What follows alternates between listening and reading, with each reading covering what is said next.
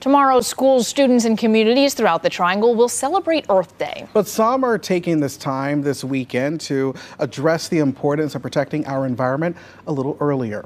CBS 17's Amalia Roy explains how Durham is encouraging neighbors to think green.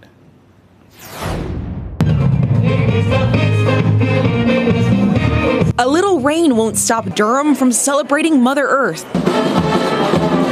Durham held its annual Earth Day celebration downtown Sunday, also celebrating 100 years of the city's Parks and Recreation Department. We want to be consistent for our community, and it's so important for us to be out here and celebrate any chance we have. Organizers say today's festivities are a fun way to remind the community the importance of connecting with nature.